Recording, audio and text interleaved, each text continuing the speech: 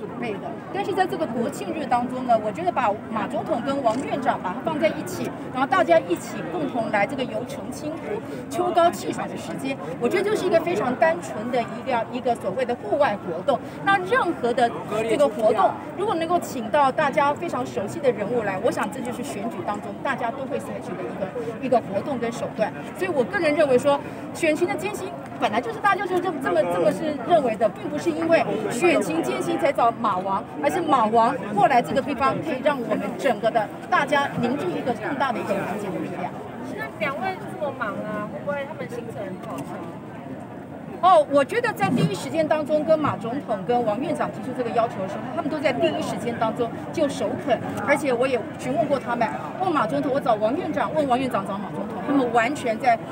立马当中，大概没有两秒钟当时间都觉得没有问题啊，我们可以一起过来，然后大家一起在十月十号，我想最主要是十月十号，大家可以拿着国旗一起来做这个散步教育，这才是最大的一个目标，所以是团结在中华民国的国旗之下面，我想这个角度是高于帮柯志恩。来制造任何的一个另外的一个选战的一个话题。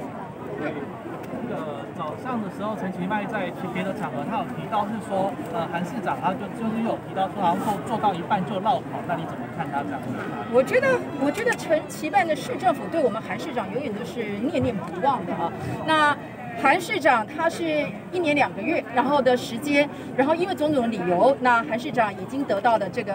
所付出的政治的一个代价。那现在为止呢，我觉得市政府应该是秉持着过去韩团队在这个市府当中，其实都有很努力在做事，包括李四川这个副市长，还有叶匡时副市长、陈雄副市长，这些大家都是有目共睹的。所以我觉得陈市长应该用一个真正名副其实暖男的态度，对于前朝所做的每一件的事情，应该怀着。感激，然后把它持续下去。我想这才是一个真正市长温暖的高度。